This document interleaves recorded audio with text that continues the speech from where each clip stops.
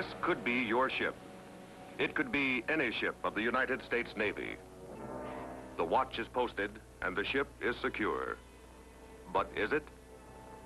Behind the familiar bulkheads, at duty stations throughout the ship, even in the wardroom pantry in officer country, a silent shipmate lurks, ever willing and able to help you, but also ever ready and able to kill, silently, swiftly, very swiftly.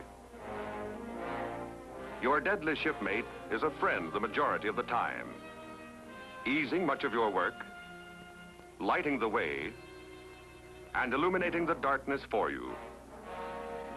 Your deadly shipmate is low voltage electricity. Yes, low voltage, not the high voltage kind whose warning hum and warning sign of danger that no one ignores, not that kind of electricity. 115 volt current is deadly because it is so familiar. You've known it all your life. It drove your electric train when you were a kid. Gave you light to do your homework by. Showed up the fuzz on your face first time you tried to shave. But because 100 volt electric current is so familiar, is why it can be so deadly aboard ship. 115 volt current can kill. The Navy knows it. The Navy is always vigilant to eliminate the fatal hazard of electrical shock. Navy tools and wiring are expertly insulated. All tools are grounded. Plug caps are required on all shipboard electrical outlets. Wherever electrical is used aboard ship, rubber matting is laid down to insulate your footing. You are warned away from exposed electrical installations in short, clear Navy language. And Navy posters dramatically picture the cost of carelessness where electric current is concerned. Carelessness. Ah, there's the key word. Carelessness.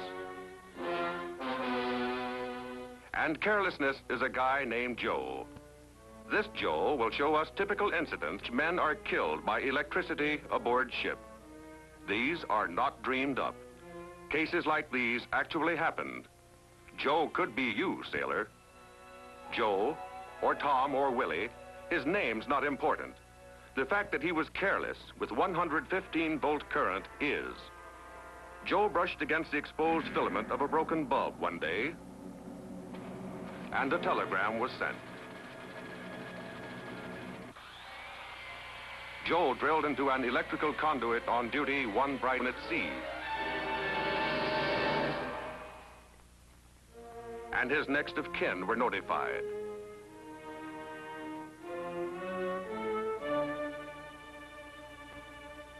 In the old Navy, decks were scaled by hand.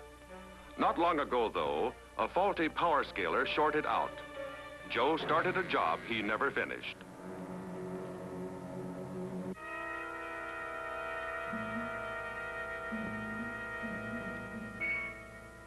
The bound wire on a movie projector became another fatal trap.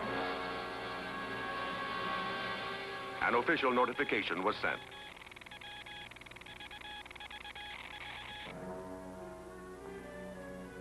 It happens many ways, an unauthorized fan is smuggled aboard, plugged in without the required ground wire, turned on once.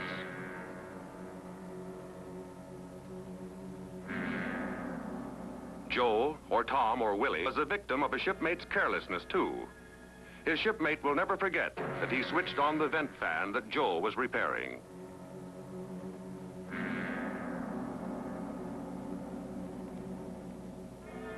The notification didn't spell out the cause of Joe's death. It wouldn't have helped. Nor could the fact that a sailor was impatient to get at a piece of toast have comforted his next of kin. Yes, it's a deadly shipmate, this 115 volt stuff. The reason is easy to understand. Electricity is power put to work for us under conditions we control. But electricity, even low voltage electricity, gets out of control if we mishandle it or if we forget its potential to kill. Electrical current must travel, therefore, through a circuit which we know is secure at every point, whether we can see the entire circuit or not.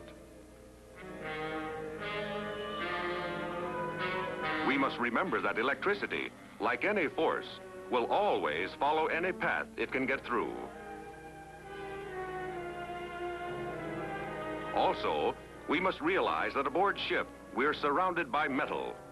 We walk and sit, and work, and sleep, surrounded by metal. And metal is an efficient conductor of electricity.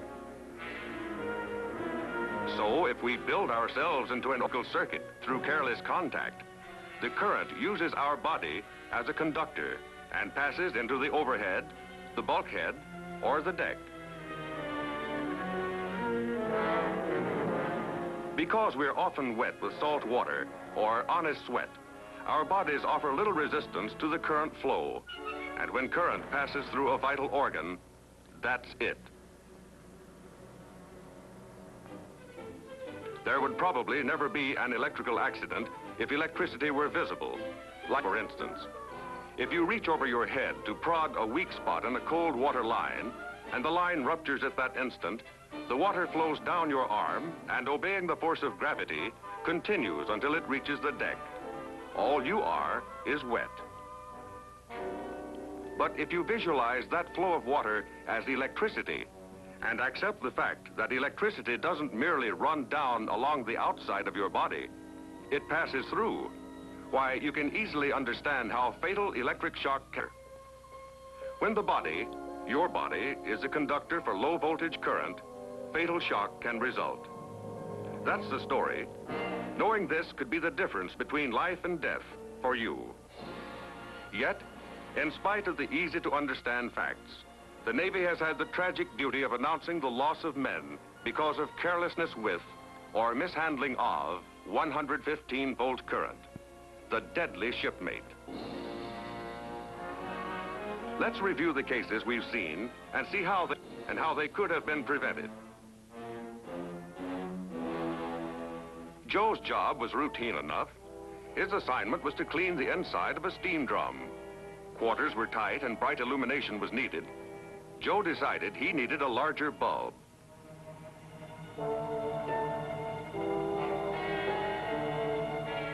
But the bulb was too large for the guard.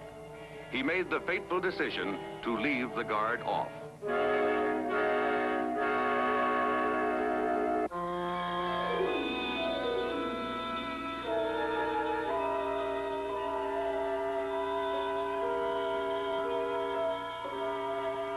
It was hot in there. The sweat rolled off his body, and his hands grew slippery. Yes, he dropped the light.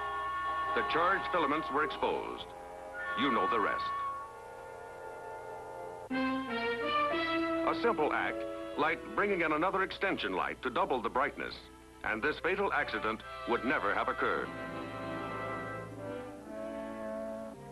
Joe was installing a sound-powered phone Simple inspection of any area into which he planned to drill would have prevented this second tragedy.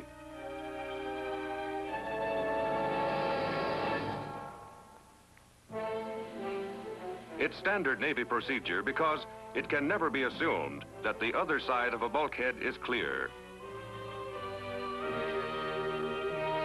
Check it, sailor, to answer Liberty Call next time.